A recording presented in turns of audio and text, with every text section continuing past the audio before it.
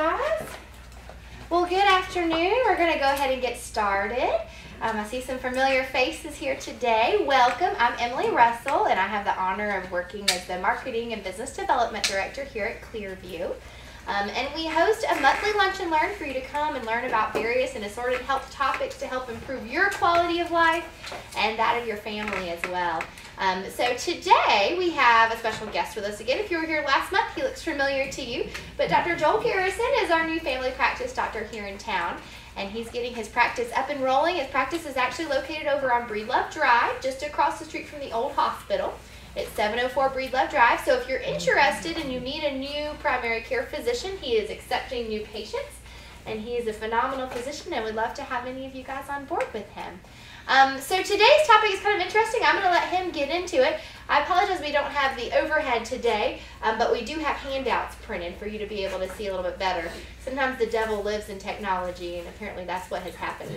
so I'm going to turn it over to you, Dr. Garrison. Go for it. So um, instead of doing the, the slides on the TV, we'll just kind of go um, on the paper. We can go one by one. Um, today's topic is in older adults, and the main focus of it is going to be uh, away from medications. So non-pharmacologic therapies, things you can do to help with pain. So quick outline. Um, we're going to talk about the differences between acute and persistent pain, um, and those will come into play when we talk about different strategies that might work or be helpful. Also talk about the goal and strategy of pain management for older adults and how that differs um, and what sort of things we look for, and then we'll go into the different therapies, and finally we'll end with a few of the common medications, um, things you know over the counter, as well as some prescriptions. All right, so getting started, um, kind of wanted to go over the difference in uh, the definition of persistent pain. Um, so that's pain that continues beyond the extent of time of healing or for at least three to six months. Um, and that comes into play when we talk about different treatment modalities, um, things that might work. So continuing on with persistent pain, something that lasts more than three or six months, the uh, there's three general expectations for managing persistent pain. Um, the first one is understanding that it's multifactorial, so there's going to be uh, different approaches that work together to help with the pain. Um, another big expectation is that it's not always curable, but improvement is anticipated and it is treatable. And finally, although the pain may not be totally eliminated, substantial improvement in function is realistic. And when you're talking about something like persistent pain or persistent problems, the main goal there is um, improvement in function and prevention of disability. So kind of extrapolating from that, the goal then of pain management, specifically in older adults, is prioritizing improving the function over reducing pain and that's sort of because um, you know with a lot of medications out there and modalities you can completely get rid of someone's pain but if that makes them limit their mobility or if that makes them too drowsy or if um, they're unable to use a body part because the pain's gone then you're limiting function and causing disability and that's kind of uh, going against the goal of pain management so, um, moving on, I get this question a lot. Should I have an x-ray?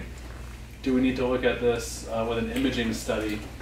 Um, and in a lot of cases, the answer to that is no. And that's because even if the x-ray shows that there might be some degeneration, um, some arthritis, that doesn't correlate to pain. So you could have someone with um, complete loss of cartilage in their knee, what you call bone on bone, and have zero pain, and you could have another patient with a completely normal x-ray of their knee with healthy cartilage and still have pain. So the imaging results do not always correlate, um, especially not with pain and pain levels.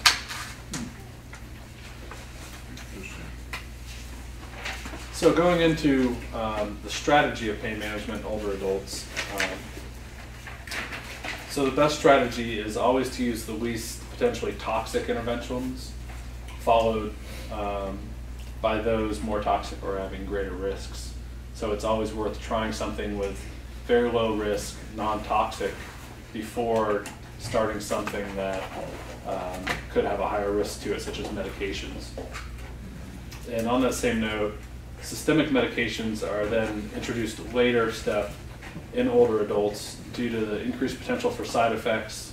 And the big one is interactions with medications that are used to treat chronic illnesses, um, such as high blood pressure diabetes, high cholesterol. A lot of these systemic medications for pain management can interact. So uh, you have to be very careful and um, you don't always jump to medications as the first, first line of management. Kind of going on from that, so the preferred initial therapy is non-pharmacological treatments or localized medications, which might be um, topical medications or injections, and we'll go into those as well. And then lastly, when the uh, when those strategies are ineffective, we can start adding in medications um, based off of the patient's other health history and other comorbidities.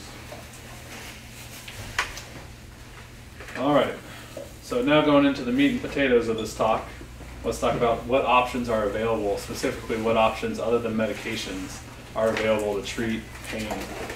Um, and I broke this down into two generalized categories. First, we'll talk about acute pain and um, what's commonly known as arthritis, which is age-related arthritis or osteoarthritis, which is age-related um, degeneration or breakdown of cartilage, things like that. And then um, we'll go into um, non-medical, non-medicine options for chronic pain as well. So a brief overview of the, the things we'll discuss with acute and or osteoarthritic pain. Um, strategies include weight loss, rest, exercise, manipulative therapies, um, orthotics, thermal therapies, and then a few others. We'll touch on each of those now. So the big one off the bat is for acute pain or arthritic, arthritic pain, uh, weight loss is an excellent um, way to prevent that and to deal with it going forward. So we have studies that show that a 10 pound weight loss over 10 years decreased the probability of developing knee arthritis by 50%. And so um, just a little bit of weight loss can prevent half of people from developing knee arthritis. And the good news there is the relationship between the weight loss and the incidence of arthritis was linear. So even one pound of weight loss helps immensely with preventing further damage to things like your knees or your hips. Uh, studies also show that one pound of weight loss above the waist decreases uh, four pounds on the knees and other load bearing joints. So you can see how that could add up immensely. Next, with acute pain, um, one of the big things that we all know is um, if you acutely injure something, you probably want to rest it for a little bit. Um, the caveat here is rest is only recommended for short periods of time, so 12 to 24 hours afterwards, after which um, you want to resume active range of motion of the joint and exercises. This is especially true for shoulder injuries. Um, and you may have heard of the term frozen shoulder. Um, that's due to um, someone may have injured their shoulder and due to pain, um, stopped using the shoulder with a full range of motion.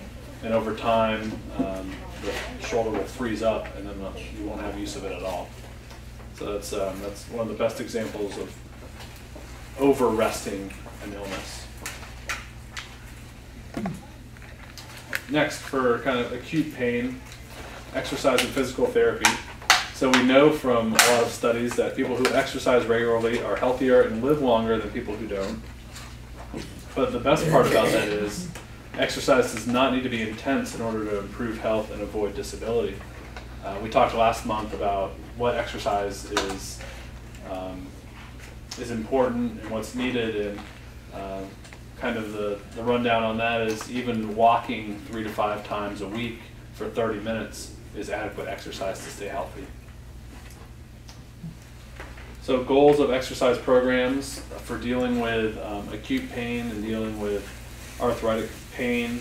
Um, so the goal of exercise programs, reduce pain and reduce functional impairment, protect the involved site of pain and at-risk joints. So if someone has pain in the right knee, um, want to make sure that exercise is tailored to prevent that same pain from affecting the left knee.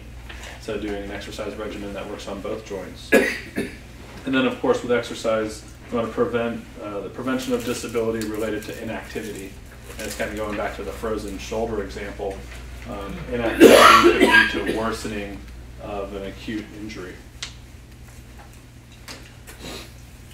Also, so we know from studies that land-based therapeutic exercises uh, provide short-term pain relief that could be sustained for two to six months after cessation of formal treatment. Um, so that's that's pretty good. If you have an injury and you do um, some focused physical therapy or focused exercises for a short period of time, that relief can last two to six months afterwards, even if you stop exercising. So it just kind of shows how important exercise and maintaining mobility is.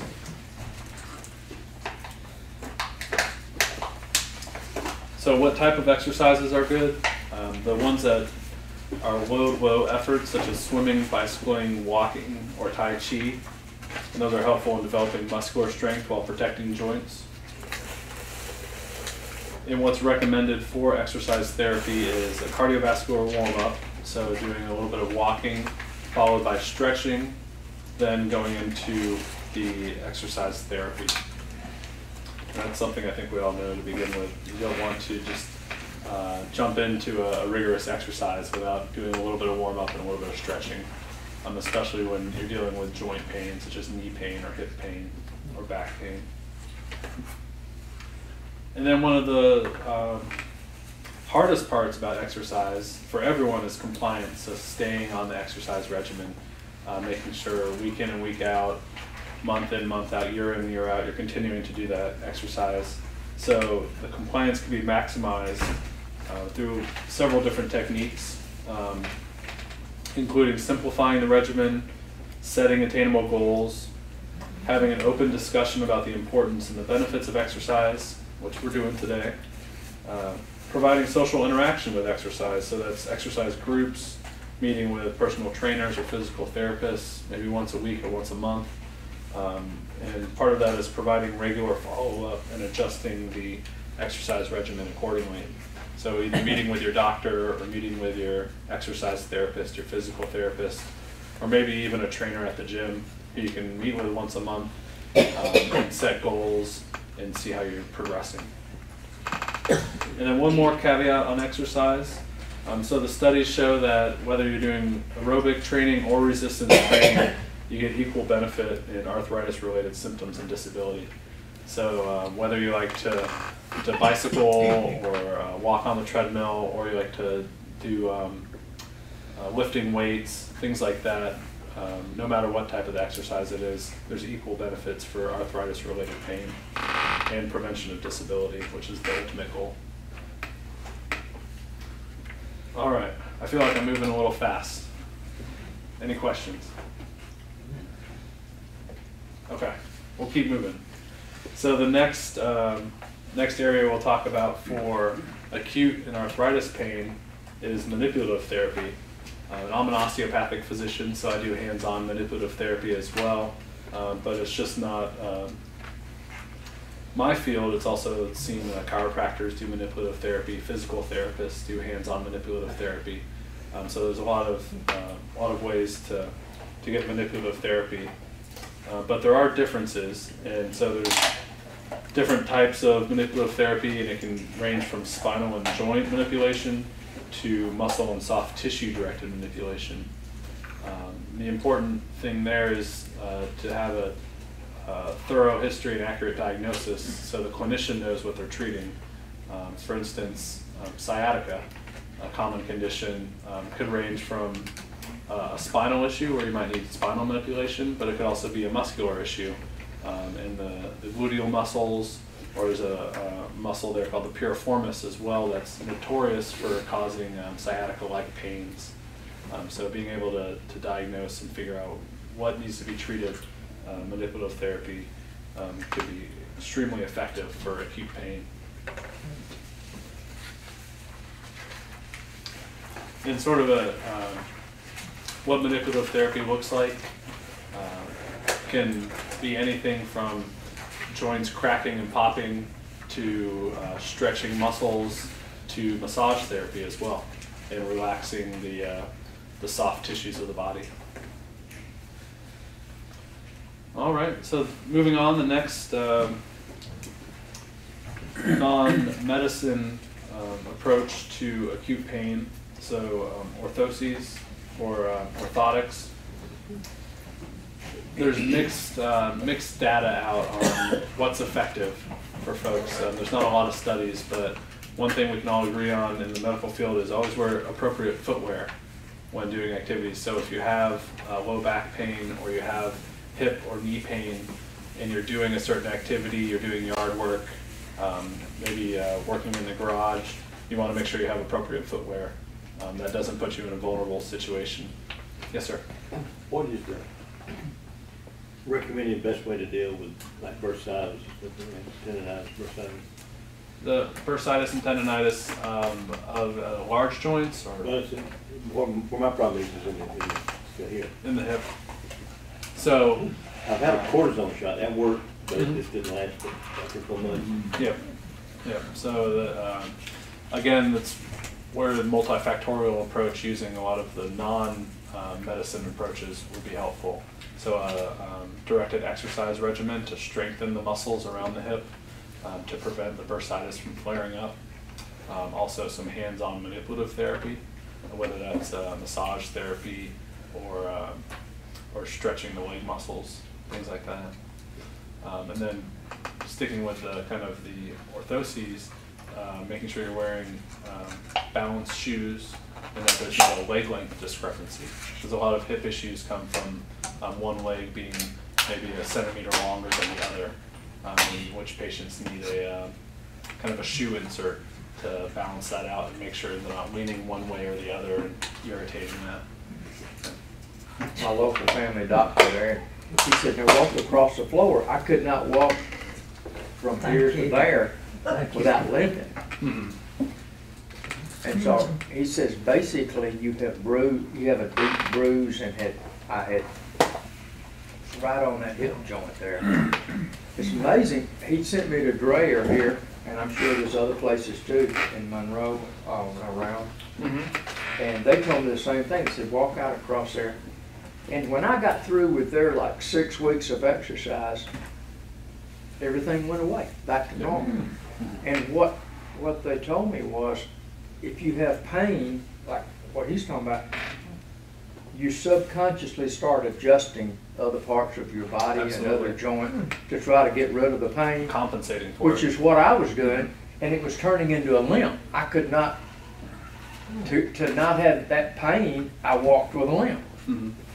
And so, um, and, and you know, I- I'd take a, a, light pain pill here and there, but the doctor said that's not, the- that's not gonna get you where you wanna be. Right. So the exercise and the therapy, and I'm, I mean, they had things I had to balance on and, and Mhm. things that were soft on one side and hard on the other side that you walked on, different elastic things on ankles and all, and no, it, the pain just worked itself out over a period of time. I was- I guess that's what you're talking about. Yes, sir. Like that. And uh, especially, It uh, does work. I appreciate you bringing up the point where the, they were doing exercises with you. Mhm. Um, and that's part of it. And with acute pain, you want to continue to exercise, even if you're continuing to have a little bit of pain, um, almost like you want to work through it. Yeah. Um, because the inactivity and the immobility um, leads to worsening of the pain and then disability down the road. The more you sit, the worse it gets. Yep. Yep. I still play basketball with my grandson, and sometimes I'll get up the next morning, boy, I'm sore. You know, u- upper, upper body sore. And if you don't get out and start, if you don't keep playing basketball, it, it hurts worse. If you keep, keep doing what you're doing, Absolutely. works it out. And so rest, like we mentioned earlier, rest is okay for acute injuries for 12 to 24 hours, but any prolonged rest after that time is going to be detrimental.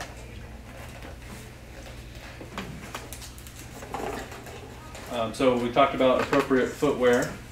Um, now specifically about knees, um, there isn't great evidence to suggest that the big bulky knee braces are any better than the simple sleeves. So what I recommend for people is just to get the, um, the simple sleeve elastic knee brace if they're having knee issues. And then finally, there's, um, there's been some recent studies showing that different taping strategies for the knee are helpful. Uh, physical therapists and sports therapists do those taping. Um, you might see them on athletes on TV as well. Um, they use the tape kind of all over the body, but specifically the evidence shows it works really well on the knee for knee arthritis. Um, the next big group of things to try, and um, I'm sure a lot of you already do this, is the thermal therapies. So heating packs, um, cold packs for acute injuries. Um, one thing I wanted to point out there is, uh, unfortunately, we do see quite a bit of uh, burns on folks for overusing a heating pad. Um, so the newer heating pads have self um, shut off timers, but some of the other ones can get hot and stay hot for a long time. And if you're uh, taking a nap on the couch and you put the heating pack on, you might might wake up to a, a painful injury. Electric blankets are, at that site. Yep. problem. Yeah, especially this time of year when you want to stay nice and cozy. You gotta keep it on two or three. Yeah. Um, so what the suggested approach is to alternate between um, 20 minutes of heating pad and then turn it off for 20 minutes. And then flip it back on if you feel like you need it. Um, so continuing on acute injuries, um, another option is injections. Um, we talked about the uh, prednisone, the steroid injection uh, for the hip. We'll get into those a little bit later in the talk as well, into more detail. Uh, but also Tai Chi, uh, a lot of uh, data on that showing that it's helpful for acute injuries, um, staying active. So I put a, a picture in here of what kind of Tai Chi looks like. And it's um, mostly range of motion exercises um, directed by a, um, a leader of the group. And uh, similar to um, other group exercises like yoga um, that are just good for range of motion and stretching and staying active. All right, so moving into a um, different category now. So some uh, non-medicine therapies for for chronic pain or non-arthritic pain. Um, so a lot of these include the acute pain strategies that we talked about, like the exercise, physical therapy, um, especially with uh, chronic pains. You want to stay as active as possible.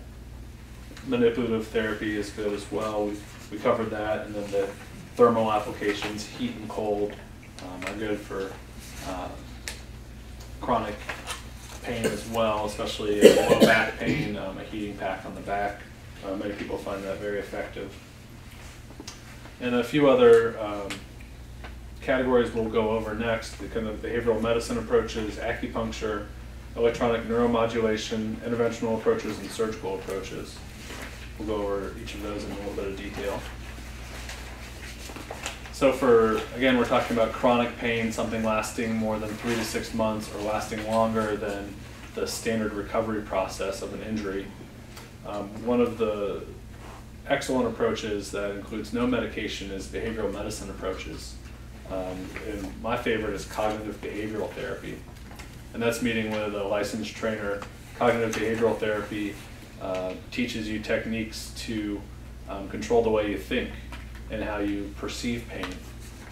Uh, and that directly benefits the any pain down the road.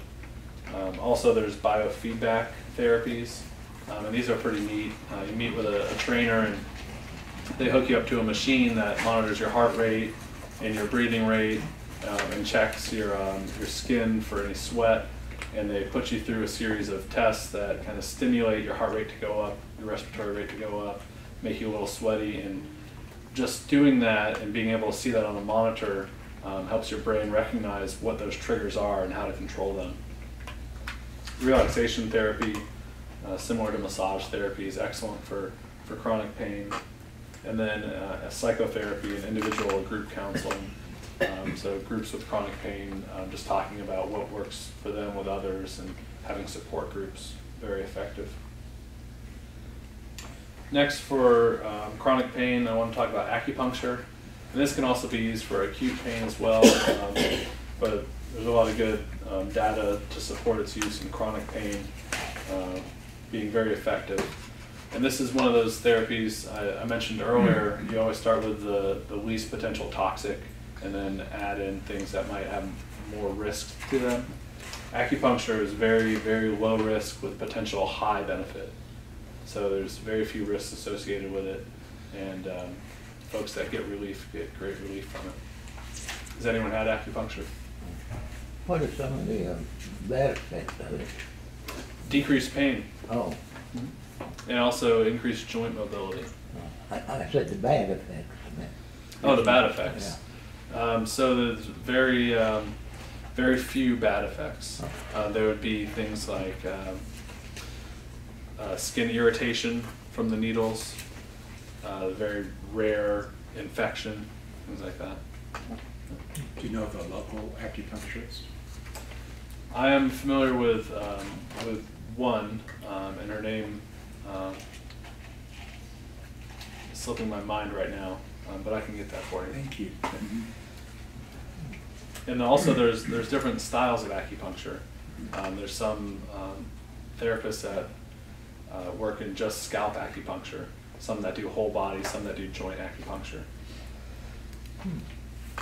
What about reflexology? Uh, Is that connected with Yes, acupuncture some? Mhm. absolutely, um, and that's part of the uh, the Chinese medicine and Eastern medicine approaches, um, which are very helpful for a lot of a lot of patients. And again, it's very low risk therapy, but potential huge benefits. Uh, th- These are all therapies that don't have any systemic side effects, unlike medications. Um, so the next uh, big area is electrical neuromodulation. Um, common uh, device there is called the TENS unit. Um, I don't know if anyone has experience with that, but it's a, um, a, a unit that commonly used with physical therapists, but you can also buy um, for your home use as well now. And you apply electrodes to different parts of the body where you might have muscle spasm or pain. Um, and then you can control electrical impulses to that part of the body to help uh, control muscle spasm. That stuff works.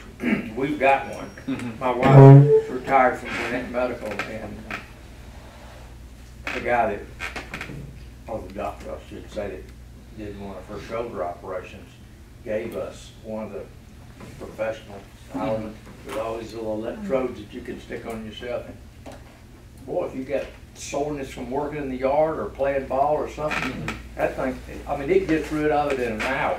Yep, it really helps with the muscle Yes. soreness. And it's also used after surgeries to help stimulate growth as well. And there's also um, electro, electrical neuromodulation with acupuncture as well. Um, so some acupuncturists will use the needles and then attach um, small electrodes and send an electrical current between two points of acupuncture. And then also there's um, implantable devices that some surgeons use that um, are spinal cord stimulators to prevent uh, surges of pain. All right, and then uh, moving on, interventional and surgical approaches. Um, so I list quite a few of them here. We'll kind of go one by one. Uh, ablative techniques. That's a, a surgical procedure to uh, to kind of kill the nerve ending that might be causing pain. Uh, so Botox injections are next, or botulinum. Botox is used for a wide variety of things now. It used to be, um, you know, cosmetically used, but now it's used for a lot of chronic pain and uh, specifically chronic migraine headaches. A lot of neurologists use um, a series of Botox injections to help uh, prevent headaches. Nerve blocks are common. These are typically done with uh, with lidocaine injectables.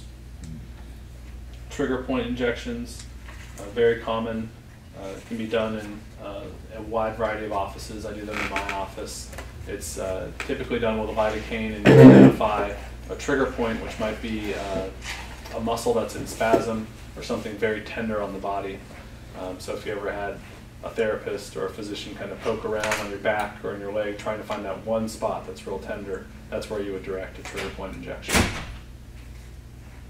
Um, epidural steroid injections, um, that's an option for some people with uh, back issues. Next I put in here, prolotherapy and neuroprolotherapy injections um, and regenerative injections. These are uh, very new therapies out there. And unfortunately, uh, they're not covered by insurance, but these help promote growth of new tissue um, instead of just treating what might be um, a symptom. They help grow new healthy tissue. Um, prolotherapy is um, used to um, inject a, a solution of almost sugar water into an area of tenderness, causing inflammation. That inflammation in turn signals the body to restore the area and fix it. So for chronic injuries, um, it's used for plantar fasciitis. It's used for chronic knee arthritis, something that's been going on for a long time. The body may have uh, turned it down on its priority list of things to heal. So the neuro, um, sorry, the prolotherapy uh, redirects the body to help heal that area. Neuroprolotherapy is similar, uh, but it's directed at uh, peripheral nerves, especially people with um, regional pain syndromes um, or headaches or upper back aches. Uh, neuroprolotherapy works very well. And then the regenerative injections, uh, maybe hearing more and more about it because it's uh, the data comes in very well on it. This is taking your own stem cells and injecting them into areas where your body needs growth. So for um, hear a lot about it in professional athletes who have tears and ligaments, um, who have knee issues. They'll take some of the patient's own stem cells, then redirect them and uh, inject them into the knee or the area of damage to promote new growth. So it's a real uh, fascinating field and it's, it's very rapidly growing unfortunately, like I said, it's new and um, it's not covered by insurance, so it is quite expensive. So topical therapies, uh, these are kind of broken down into three main classes. So in topical NSAIDs, that's a non-steroidal anti-inflammatory drug. Um, those are common medications. We'll talk in just a second about those. Um, but that's like uh, Aleve or Motrin or Advil. Uh, they come in a topical formulation, which is better for a lot of patients because it's not systemically absorbed. So it's just uh, localizes on the area of pain. So topical therapies are, are good because they're not systemically absorbed and they don't interact with other medications. Uh, so that might be an option as well. What the vitamin K? Mm-hmm. So that they don't interact, with, uh, they don't have vitamin K or they don't interact with any other, other medications you might be taking other topical things which are over the counter topical capsaicin cream. Capsaicin is a, a derivative of uh, red peppers, um, so the, the, spicy peppers. Um, so used topically, they kind of deactivate the pain fibers on the skin um, and cause relief of pain. Um, the only caveat there is some people get a, a bad reaction to it because it's like a hot pepper and they can get a little redness on the skin. But other things are uh, commonly used, so topical menthol, that's kind of the icy hot patch, things like that can help with um, a lot of folks. And then also there's topical lidocaine preparations, uh, which again decrease the pain um, over the area without being systemically absorbed. So that's helpful. Now the next one, kind of going into the uh, going into the oral medications. So Tylenol, uh, it is the first line pain medication for older adults. Um, like you mentioned earlier, it doesn't interact with um, other medications, doesn't increase your risk for bleeding, things like that. Due to that, it is first line. Uh, the maximum dose is a little bit disputed, but it's between uh, three and four thousand milligrams per day. And the uh, thing to look out for is if you have a cold and you're taking uh, Tylenol for pain, you want to make sure that cold medicine doesn't have any Tylenol in it as well. And a lot of times people end up taking more Tylenol than they can handle and not realizing it because so many over-the-counter uh, medications, especially for cold symptoms, have Tylenol already built into it. How many pills would you have to take to get three thousand milligrams? Six. The extra strength comes anywhere from 500 to 1,000 milligrams per pill. Oh, okay. So if someone takes um, two tablets three times a day, they're already at, and that's the 500 milligram they're already at. I didn't realize the pills were that high. Mm. The next main group is the NSAIDs. Uh, I mentioned the, the brand names earlier. It's the Advil, Motrin, Aleve. Um, there's also uh, a few others, meloxicam or Mobic. It's a prescription NSAID. Diclofenac, a prescription NSAID. These aren't first-line medications in older adults, uh, but they are first-line in younger adults. The reason they're not first-line in older adults is because they um, have an increased side effect profile. Um, they can cause bleeding issues, um, they can cause uh, stomach issues and ulcers, they can cause kidney injury and kidney failure, and some heart issues. Yes, ma'am. Uh, meloxicam, is it, uh, over the counter or prescription? That's prescription. Yep, and that's the, uh, Mobic is the brand name. And it does cause stomach problems. It can, It can- yep. Yes, ma'am. Okay, right here, uh, so this, I, what is this, is this ibuprofen, is, is it considered being Advil, Motrin? Yes, that's I mean, the, it's just something separate? Is that's it- the active ingredient in Advil and Motrin. Oh, okay, so this, this is, this, uh, what is it, uh, Ibuprofen? oh, okay. Yeah. You can buy it generic as well, but the, these are the two main brand names. You say it has side effect? Oh, It does. A lot of people can't tolerate these medicines because of increased risks of bleeding or uh, stomach ulcers, kidney injury, things like that. oh, And so that's why they're not used uh, first line in older adults with chronic conditions who, are, who might be on medications for high blood pressure or blood thinners. things like that. And then finally, uh, some of the other prescription medications used for pain, uh, common ones. So uh, antidepressants, uh, the main one that's used for pain is Cymbalta as a great medication for pain. Um, anticonvulsants such as gabapentin, um, used for folks with diabetes with pain, a very common medicine. Uh, muscle relaxers are used, um, although muscle relaxers can be dangerous because they make you very sleepy. And a lot of the studies show that the benefit of muscle relaxers isn't that they relax the muscle, it's just it makes you sleepy enough that you can get a good night's rest. Whatever works. That was called the back door approach. huh? Yep. I've been taking that Gabapentin about twenty-five years. Mhm. I ain't went to sleep yet. Yeah. And then uh, at the very end, there's opiate medications as well. And so a lot of people are concerned about uh, addiction with opiate medications. What are Um, some of those? Some of the names of The the opiates, uh-huh. Um, so morphine, uh, Percocet, um, Oxycontin. OxyContin. Yeah. What about tramadol? Where would it fit? Tramadol is um, considered a um, kind of a cousin to the opiate family. Um, so, for um, legal purposes, it's considered a controlled substance, just like opiates, but uh, it's not uh, quite in the same class. Doesn't have the same um, profile, but it's still used to treat pain. More tramadol too now. Mhm. What's a muscle, ra- what's a common muscle relaxer called? Name. Um, so Robaxin, Flexeril.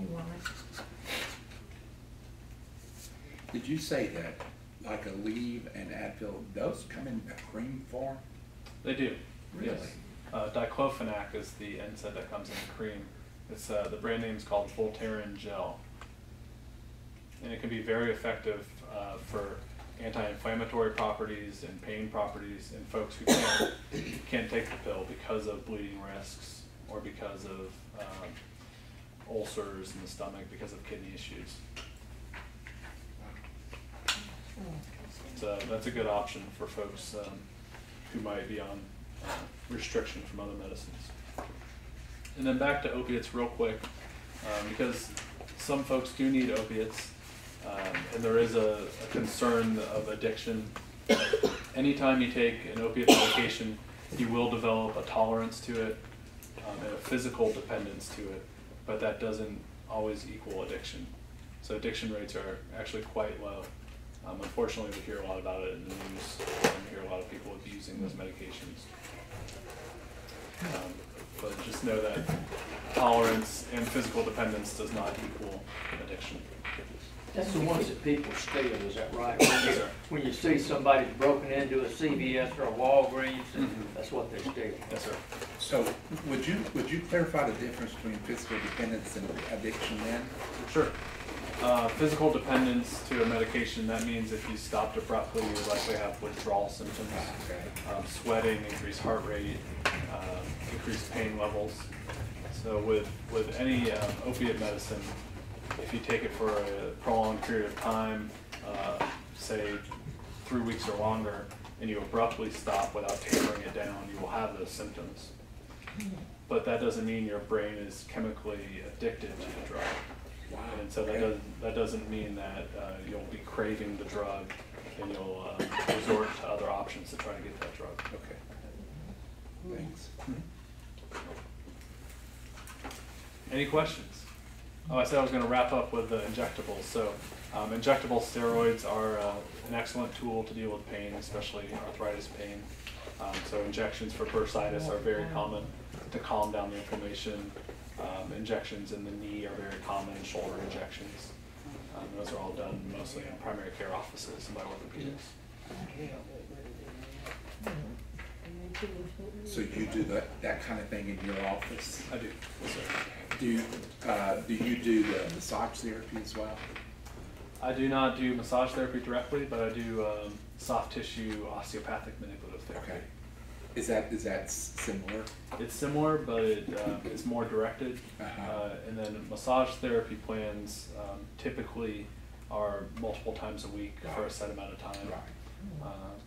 My personal approach with osteopathic manipulative therapy is to um, get things stabilized and then teach the patient how to do certain things at home so that you don't have to come see me every month. Do you take Blue Cross or Blue Shield? I do, yes. How about we up here? I had a problem with them. Yes. Yep. Okay. They don't take We do. anything.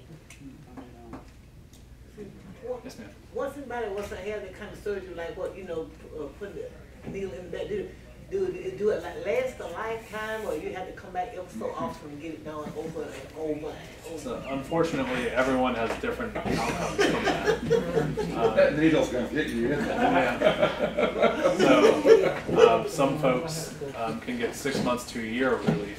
Um, other folks just have a few days. Few days, they come back again? It can.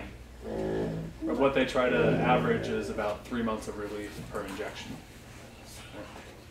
And so every, everyone's different, everyone responds to it differently. Sure. All right, have a great afternoon. I got a, I got a question.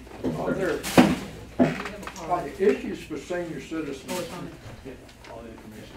Okay, all right. Well, I enjoyed what you're talking about. Thank you. Gotta go to a meeting. that are starting to show up, and she mentioned insurance, and as I, some people I told, before my wife retired from Gwinnett Medical, so we go back and, and we have some relationships with doctors and people, personal as well as professional. Mhm. And, uh, one orthopedic surgeon told me, he said, Eric, you guys need to take care of anything that you're gonna have to have done surgically, because Medicare is changing, and they're gonna start cutting people off at a certain age, I've heard that. Cutting off. off, not paying for it. Right. In other When you get words- older? Yeah, in other words, instead of doing knee surgery, they'll hand you a walker and say, you know, once you, and because, you know, they're not gonna do knee surgery on, you know, ninety-two-year-old great-grandma Oh, okay. because her life expectancy is whatever it is. But, um, did you see any of that with some of these therapies that insurance pays for some, doesn't pay for others? Um, Absolutely. And uh, a lot of, um, a lot of insurance companies will require you to have tried uh, a lot of the other techniques before they'll um, allow for a- a surgery or a more invasive procedure. Yeah. And uh, some of it's seen, uh, some insurance companies, even if the patient needs an MRI, they'll say, well, they have to have completed this amount of therapy, and have tried this, and have tried that, and if all, unless those are completed, we're not gonna approve an MRI or approve a, a procedure, Yeah. so. I- The days of walking in and getting whatever the doctor says is what you do is gone, I guess. Yes, sir. And unfortunately, it's uh, dictated pretty heavily by insurance companies. Well, that could be counterproductive, couldn't it? It's extremely counterproductive. Well said. Yes, sir. Yeah. Yeah, frustrating on both ends. I think the insurance company hopes you'll die, and they won't have to pay any more money. It's terrible to say, but, you know, Well, people living longer. Yeah. Social Security didn't count on that. They are doing, uh, at least my, heck, my, I, we're with Cigna HealthSpring, and they are doing a lot of wellness things. They are. I mean, we Yeah, get like something that. almost every other month about something to go do, and I really like that. Yeah. Things that are very, uh, proactive and try to keep you well, because it, it, it really is less expensive for them. sure. Yeah. But, uh, that's a good And trend. it's good to see that they're realizing that it's better to keep people healthy than it is to uh, pay for complications down the road. Right. That's the way our insurance company is, only they want a nurse to come out to your house and give you a check, check up and all. And when the last time they called me, I said, I just went to my doctor and, you know, she said I was fine, uh, you know, that was, I had no major problems. And so, I mean, you know, you wonder, sometimes they couldn't save money by not doing things coming out. Mm-hmm. Maybe it's something I They don't need to check with, yeah, coordinate it. I don't know. And unfortunately, insurance companies are out there to make money. Mm-hmm. So you wonder whose mm. best interest they have at heart. Yeah. Exactly. Well, thanks for coming today. Thank you. Thank you. I enjoyed it. That a number years ago, my sister